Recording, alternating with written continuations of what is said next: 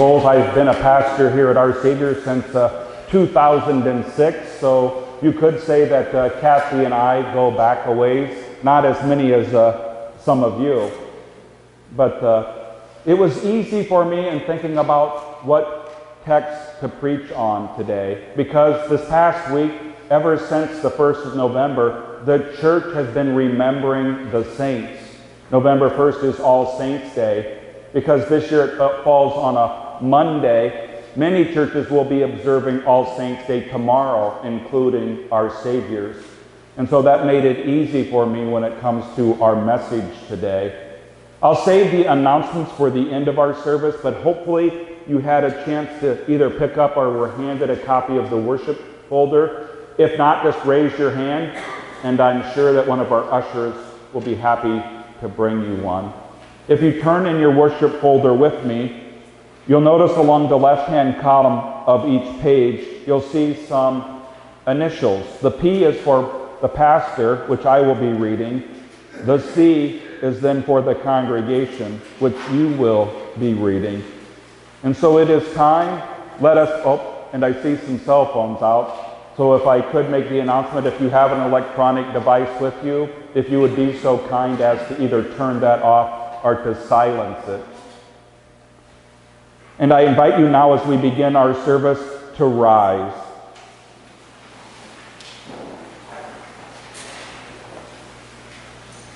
And we make our beginning with the invocation.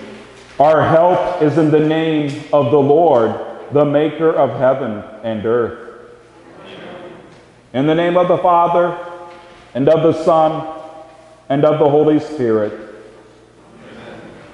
My flesh and my heart may fail, but God is the strength of my heart and my portion forever.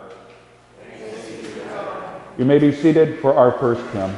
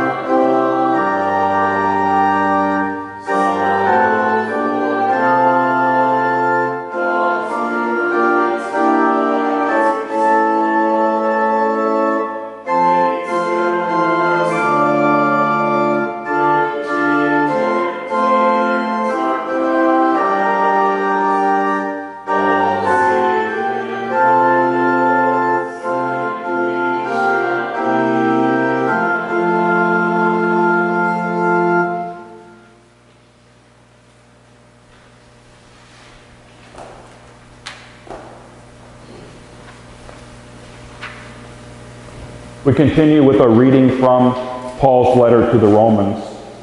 For none of us lives for ourselves alone, and none of us dies for ourselves alone.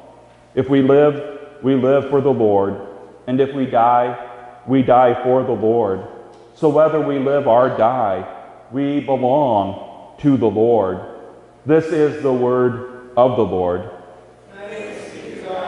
Let us pray. O God of grace and mercy, we give thanks for your loving kindness shown to Kathy and to all your servants who, having finished their course in faith, now rest from their labors. Grant that we also may be faithful unto death and receive the crown of eternal life through Jesus Christ, your Son, our Lord, who lives and reigns with you and the Holy Spirit, one God, now and forever. We continue now with a time for family remembrances.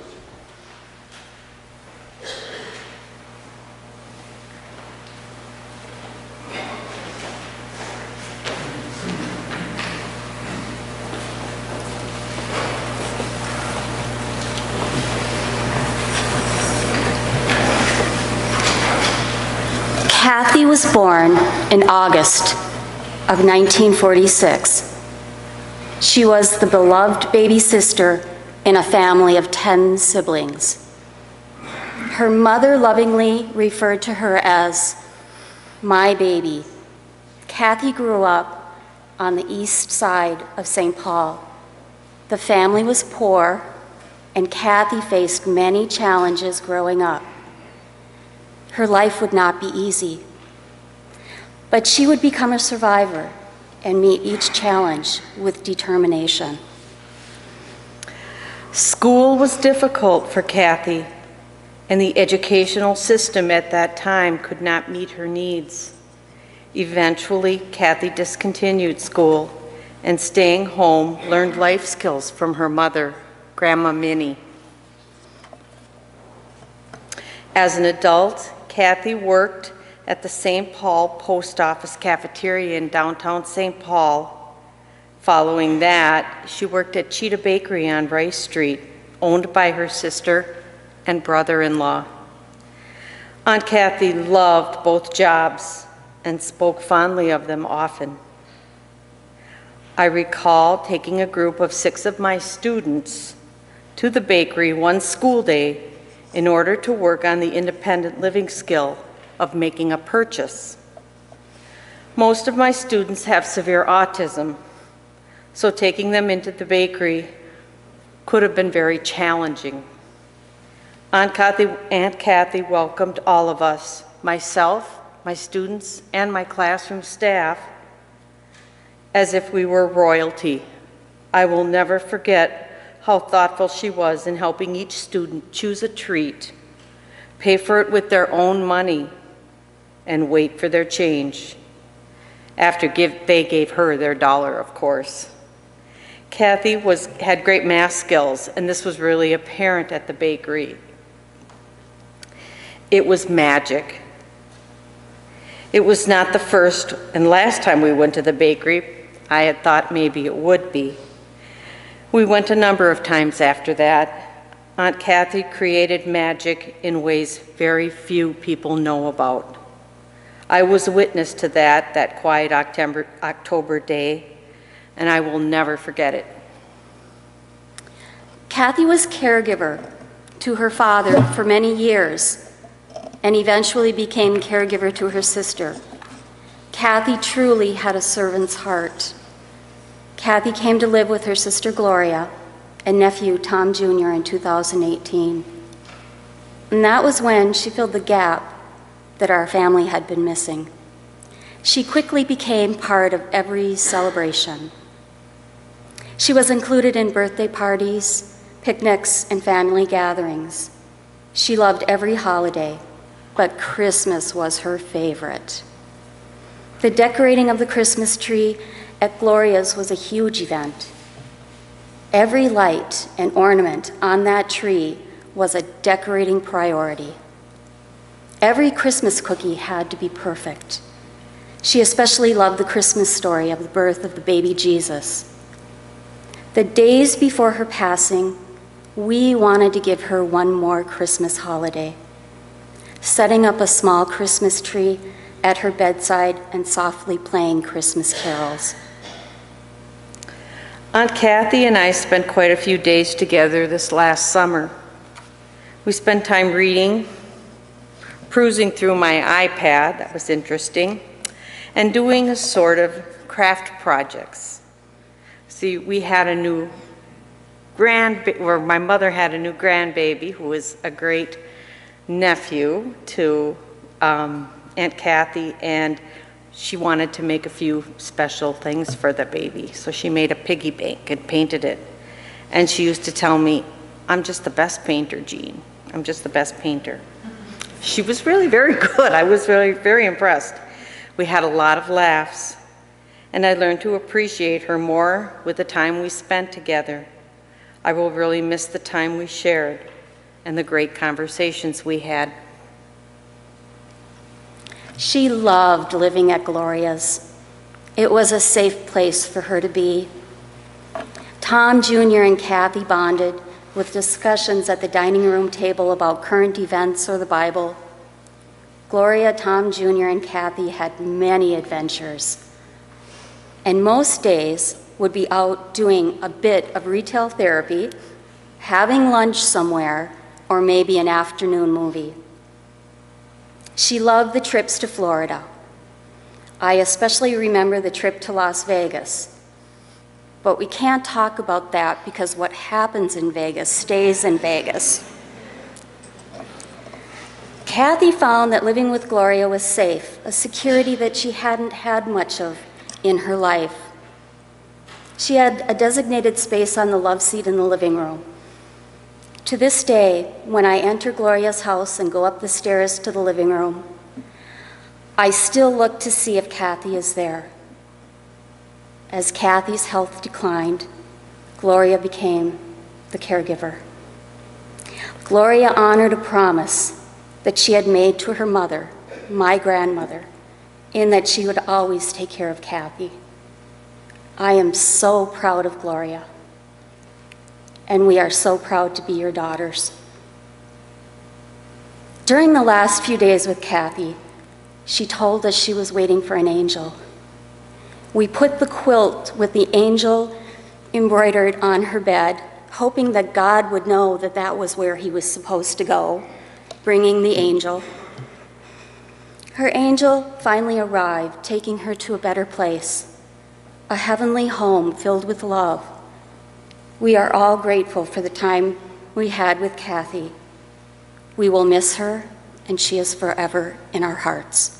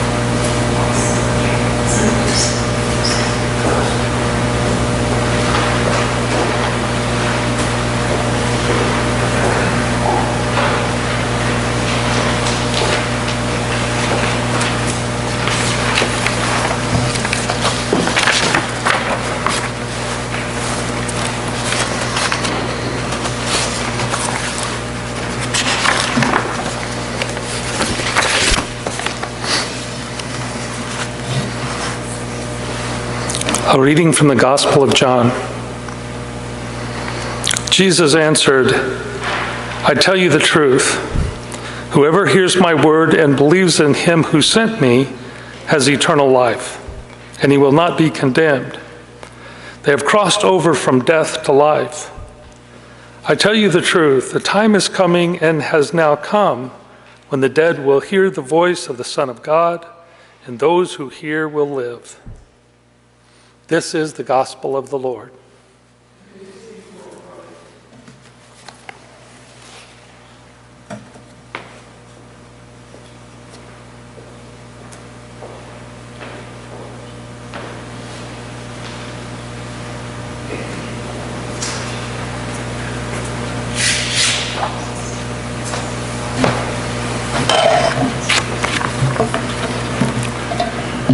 Our service continues with the scripture readings.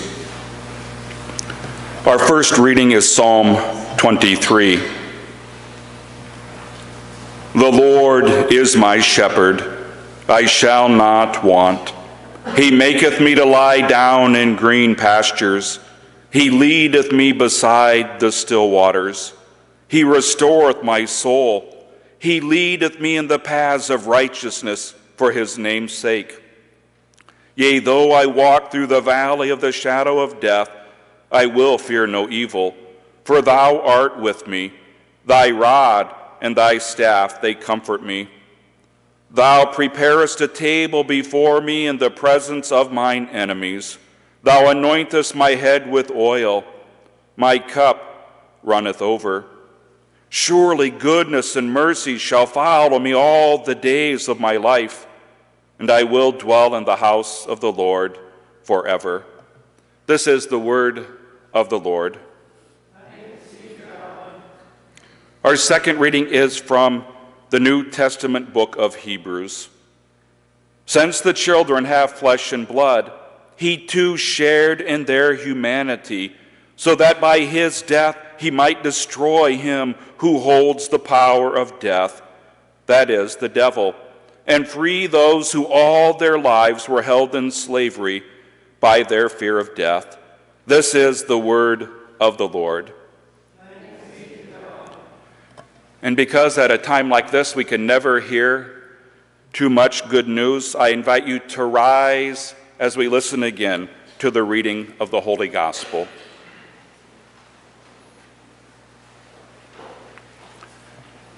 The Holy Gospel according to John the fifth chapter. Jesus answered, I tell you the truth. Whoever hears my word and believes him who sent me has eternal life and will not be condemned. They have crossed over from death to life.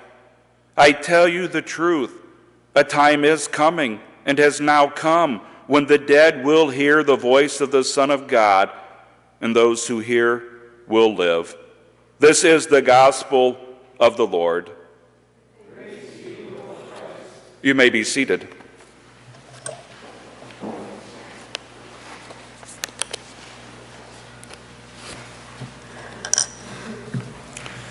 Be holy, because I, the Lord your God, am holy. So declared the Lord God to his people through Moses. But just as he who called you is holy, so be holy in all you do. For it is written, Be holy, because I am holy, says the Lord. So wrote the Apostle Peter. Be perfect, therefore, as your heavenly Father is perfect.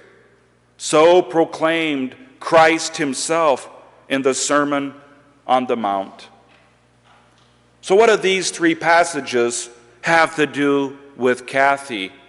And then, just as importantly, what do these three passages have to do with you and with me? Well, they have everything to do with all of us, the living and the dead. Because Scripture is very clear about one thing Without holiness, no one will see the Lord. So reads that New Testament book of Hebrews, and it bears repeating. Without holiness, no one will see the Lord. Now, that book of Hebrews, it was written to a group of early Christians who had become discouraged. As a matter of fact, they were so disheartened that they were losing faith. As a matter of fact, it even went further than that. They were in danger of walking away from the faith, the Christian faith, and going back to their old ways. And the author of Hebrews, he wants to let his listeners, his readers, know what's at stake. You have not come to a mountain that cannot that can be touched and that is burning with fire, to darkness, gloom, and storm, to a trumpet blast, or to such a voice speaking words that those who heard it begged that no further word be spoken to them, because they could not bear what was commanded. For if even an animal touched that mountain, it must be stoned to death. And the sight was so terrifying that Moses said, I'm trembling with fear. But you, the author of Hebrews, writes, You have come to Mount Zion, to the city of the living God, the heavenly Jerusalem. You've come to thousands upon thousands of angels in joyful assembly, to the church of the firstborn, whose names are written in heaven. You've come to the You've come to God, the judge of all, and to the spirits of the righteous made perfect, to Jesus, the mediator of a better covenant, to the sprinkled blood that speaks a better word than the blood of Abel. So see to it that you do not refuse him who speaks. If they didn't escape who refused him when he warned them on earth, how much less will we if we turn away from him who warns us from heaven? And at that time, God's voice shook the earth. But now, as he has promised, once more, I will not just shake the earth, but I will shake the heavens as well. The words once more indicate the removing of what can be shaken, that is, created things, so that what cannot be shaken will remain. And then our reading concludes Therefore, since we are receiving a kingdom that cannot be shaken, let us be thankful and so worship God acceptably with reverence and awe, for our God is a consuming fire. Well, we must go back now, keeping all this in mind, back to where I started. Be holy because I, the Lord your God, am holy. So the Lord God declared to his people through his servant Moses. But just as he who called you is holy, so be holy in all you do. For it is written, Be holy, because I am holy, says the Lord. So wrote Christ apostle Peter. And then Jesus himself put it this way Be perfect, therefore, as your heavenly Father is perfect. And we're back to the questions we started with. What does this have to do with Kathy? And then, just as importantly, what does this have to do with you and me who are gathered here this morning? Without holiness, Scripture declares, Without holiness, no one will see the Lord. And that bears repeating and taking to heart. Without holiness, not a single one of us has any chance of seeing the Lord. And at times like this, especially at a time like this, we need to hear the God honest truth we don't need to hear cliches. We don't need to hear pious platitudes. And we can't trust in half truths as well. It's only half true that Kathy is now in a better place. And we must be careful of what we say at a time like this. Kathy's not now fully enjoying life eternal with her sister Darlene at her side. We can't get ahead of ourselves. We believe and we will confess in just a few moments the resurrection of the body is still to come. And that includes Kathy's earthly remains that are now confined to that little box. It's not just the soul that lives on, the body will be raised. And for the saints, for those who are holy, they will see their God, their Creator, with their own two eyes. And without holiness, no one will see the Lord. Well, that leads to an even more, more pressing question this morning. Where does all of this leave Kathy? And then where does this leave you? And where does this leave me? How can sinners like us, how can we hope to meet our holy Maker on that final day? We can't forget it because Scripture reminds us, both in the Old Testament but also in the New, that our God, the true God, the living God, the Almighty God, is a consuming fire. And when the unholy and the impure come into contact with the holy and the perfect, what should we expect? We should expect to be burned or incinerated. And this leads, this leads to what this weekend is all about. And it leads to one of the most misunderstood words in the church today. And what word is that? It's the word saint, that little word saint. As I mentioned even before our service began this morning, this past Monday was All Saints' Day. And November 1st has long, long been celebrated as All Saints' Day by the people of God. And since November 1st this year fell on a Monday, many churches will be observing this holy day tomorrow. And our Saviour's is one of these congregations. And tomorrow morning, at just about this exact same time, we will remember six of our departed, six of our sisters in Christ who have died this past year. And Kathy will be the last one of those remembered. And I'm sure, I'm sure that Kathy would be oh so surprised to find herself numbered among the saints. After all, Remember what that word saint means. It literally means a holy one.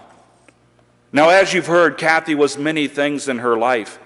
She was a daughter, she was a sister, and she was an aunt. She was also a clerk at Sheeta Bakery for years, for decades. But we can't just rest in half truths this morning and the God honest truth be told, Kathy was all of those things and more. She was also a sinner in need of a Savior, and in that she's just like you and she's just like me. So, how can I stand before the congregation tomorrow? How can I honestly declare Kathy and the other five sisters in Christ? to be saints tomorrow morning? Well, for the answer to that, we must turn to the Word of God. And the answer is found in the parts of the Word of God that we tend to skip over because the church has gotten oh so confused about who the saints really are. Listen now to what the Apostle Paul has to say to the first Christians in various parts of the empire we begin with Rome. To all in Rome who are loved by God and called to be saints. And this is no isolated statement consider what Paul had to say to other Christians living in scattered cities around the Mediterranean world. To the saints in Ephesus, the believers in Christ Jesus. To the saints in Christ Jesus at Philippi. To the holy and believing people in Christ at Colossae.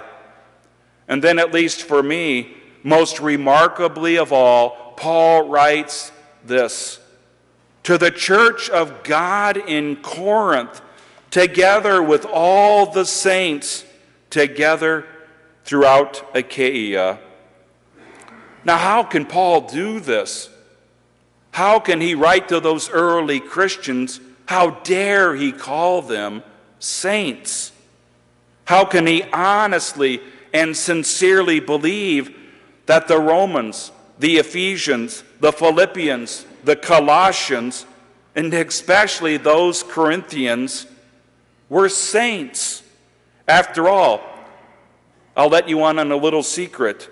The early Christians, those first congregations, they were as messed up as any church existing today. And the Corinthians, they're a prime example of this. They were fighting with one another over who their leader, their true leader, was. And it got even worse than that. One member had sued another, and another member was engaged in gross sexual immorality. A man was sleeping with his stepmother, and nobody dared to say anything about it. And if all of this wasn't bad enough, sin had even impacted the Corinthians' worship. And their observance of the Lord's Supper, it made a mockery of Christian fellowship. And if all of this, if all of this wasn't bad enough, at least some in Corinth were now doubting the resurrection. Oh, not Jesus' resurrection. They were doubting the resurrection of their brothers and sisters in Christ, their loved ones. So, given this reality, this God honest reality, how on earth can Paul declare the Corinthians to be saints, holy ones?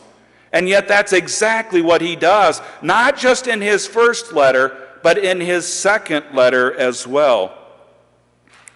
Well, in order to answer this question, I need to return to the book of Hebrews. The writer of Hebrews pro- proclaims that by the grace of God, Jesus tasted death for everyone. And that includes Kathy, and it also includes you and me. Jesus tasted death for us. And in bringing many people to glory, it was fitting that God, for whom and through whom everything exists, should make the author of their salvation perfect through suffering. And both the one who makes people holy and those who are made holy are of the same family. And let me now personalize this.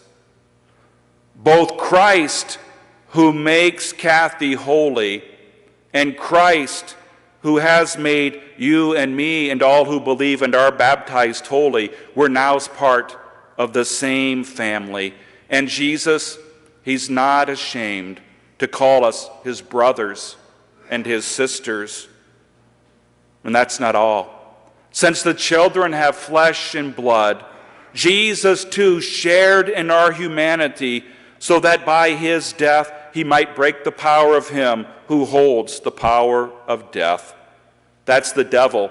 And free those who all their lives were held in slavery by the fear of death. So make no mistake about it.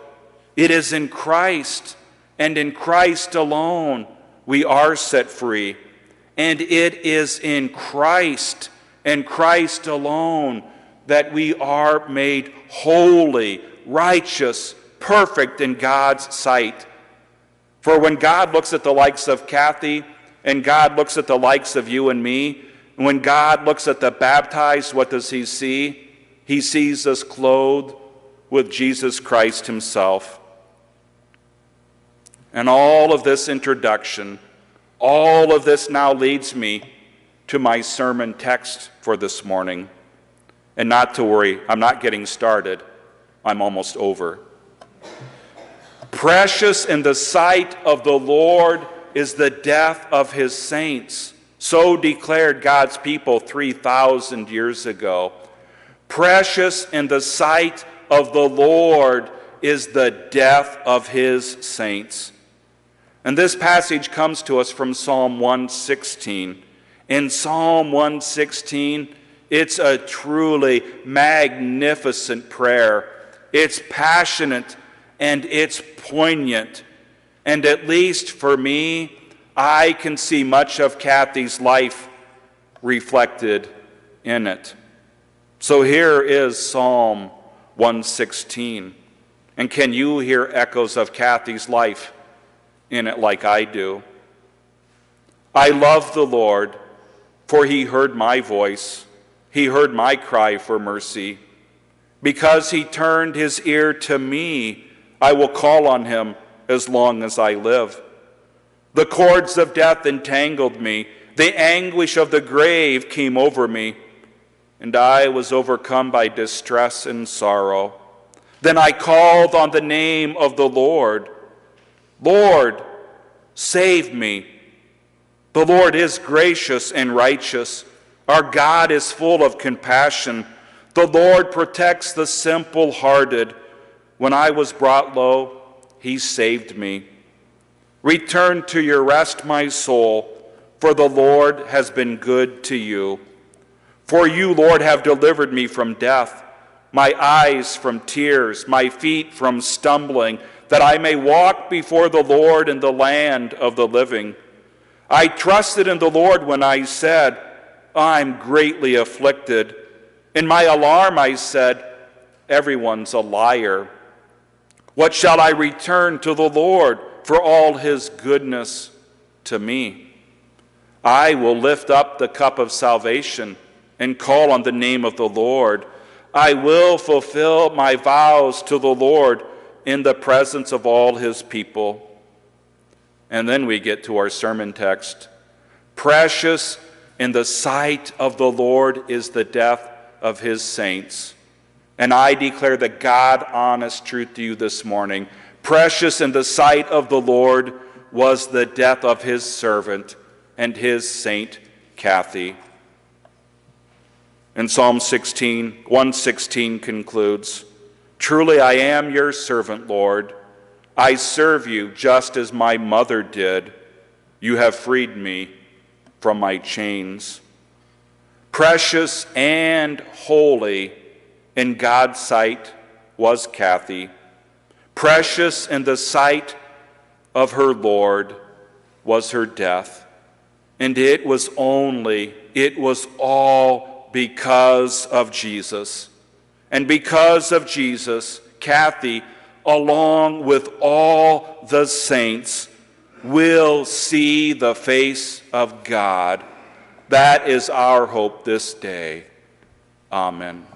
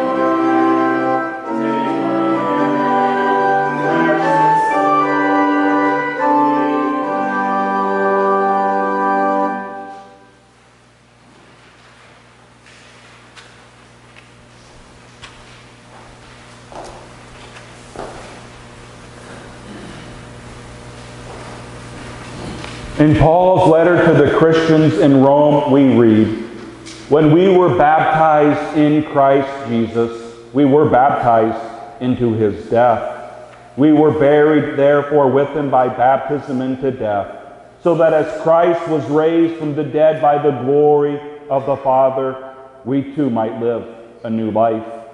For if we have been united with him in a death like his, we shall certainly be united with him in a resurrection like his. I invite you to rise as our service continues. In the words of the Apostles' Creed, let us confess with confidence and joy the faith into which Kathy and we were baptized. We confess together. I believe in God the Father Almighty, creator of heaven and earth. I believe in Jesus Christ, his only Son, our Lord. He was conceived by the power of the Holy Spirit and born of the Virgin Mary. He suffered under Pontius Pilate, was crucified, died, and was buried. He descended into hell. On the third day he rose again. He ascended into heaven and is seated at the right hand of the Father. He will come again to judge the living and the dead. I believe in the Holy Spirit, the Holy Catholic Church, the communion of saints, the forgiveness of sins, the resurrection of the body, and the life everlasting. Amen. Jesus, remember us in your kingdom and teach us to pray. Our Father who art in heaven, hallowed be thy name. Thy kingdom come, thy will be done, on earth as it is in heaven. Give us this day our daily bread, and forgive us our trespasses, as we forgive those who trespass against us. And lead us not into temptation, but deliver us from evil. For thine is the kingdom, and the power, and the glory, forever and ever. Amen. Into your hands, O Lord, we commend your servant Kathy. Acknowledge, we humbly pray, a sheep of your own fold, a lamb of your own flock, a sinner of your own redeeming. Receive her into the arms of your mercy, into the blessed rest of everlasting peace, and into the glorious company of your blessed saints in light. You may be seated for our final hymn.